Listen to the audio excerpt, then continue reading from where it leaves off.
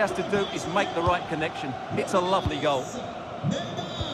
And Manchester City will go to their bench. So back underway with the lead standing at 2-0.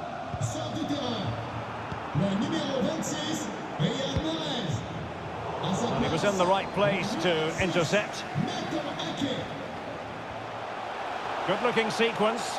In with a chance. He had to score.